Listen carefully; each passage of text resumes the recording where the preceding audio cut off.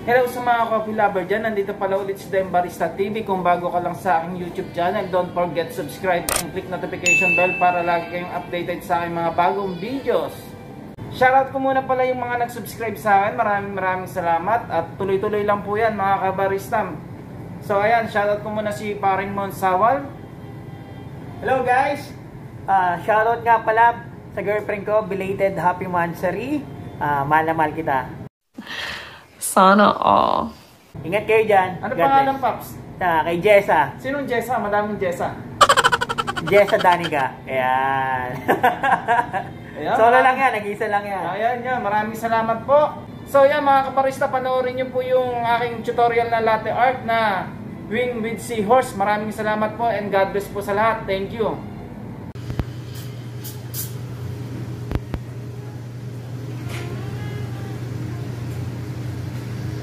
Thanks, sir. Have a good night.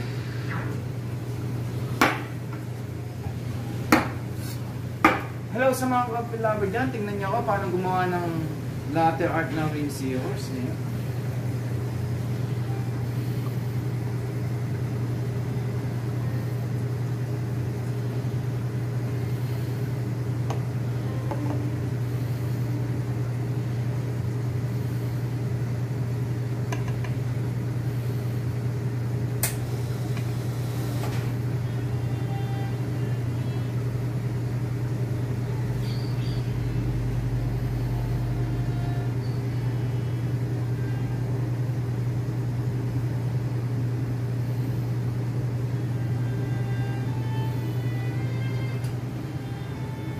So yan pala yung Wing with Seahorse.